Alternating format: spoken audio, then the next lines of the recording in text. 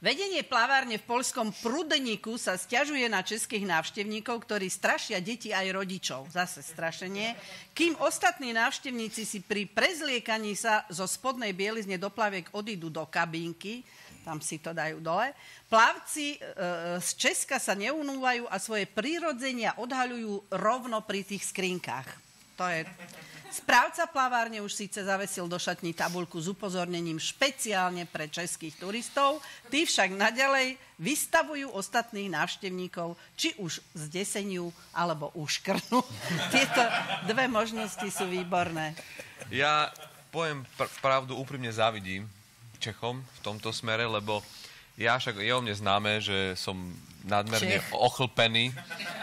Som nadmerne ochlpený. Viem. Dokonca, dokonca tak, že náš veľmi dobrý kamarát Jakub, Gu, Jakub Gulík o mne hovorí, že ja keď sa mojkam s obsom, tak po skončení pes vezme ten valček a do prdele. A Nie. Počkaj, on, on, hovorí, on hovorí, že keď sa mojká s obsom, tak ich treba oddelovať, lebo sú jak suchý zim. tak.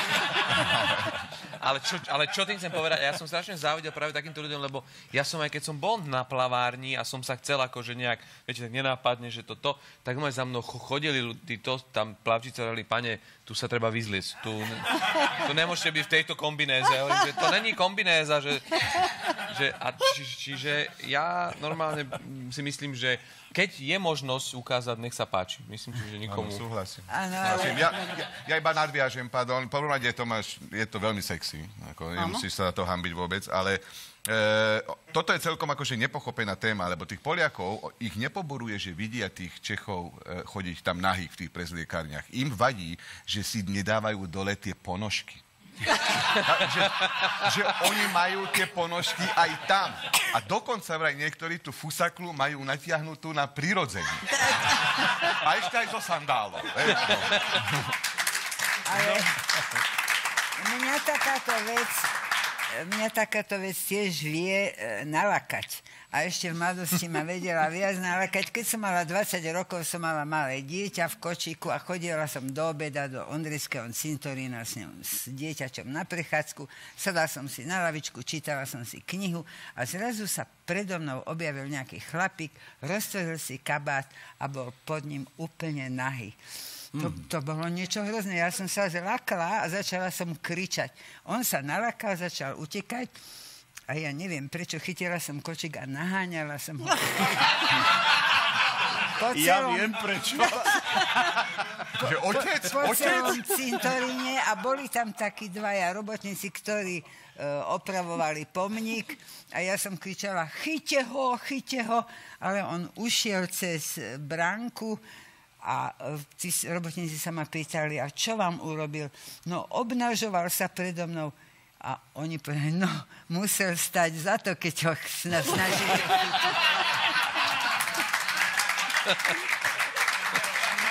To, to, a, tak Olinka, bol to Čech? Mňa skôr prekvapilo, že ty chodíš s dieťaťom na onrejský cintorín, ty, ty čítaš knižku a ono behá medzi hrobmi, ale čo? Už si nepamätám. Najlepšie vieš, to je- ihrisko. No. Ja, ja, som si, ja som si nad tým lámal hlavu, až som nakoniec zavolal generálnemu riaditeľovi tej, tej plavárne, tom prudniku, ako oni rozoznajú národnosť podľa prirodzenia. Však?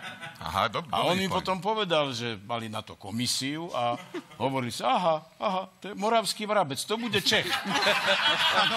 A potom ďalšie, aha, kozí sír, no to je, to je, to je, To je, to je. to je učiteľ niekde z Prahy. A potom, no to je knedlík z vejci, to je jasný, no, knedlík s vajcom. A takto ich vlastne nachytali, že sú to Česi. A čo povieš, halušky s brinzou? Poďme ďalej, poďme ďalej. Tvarohová taštička.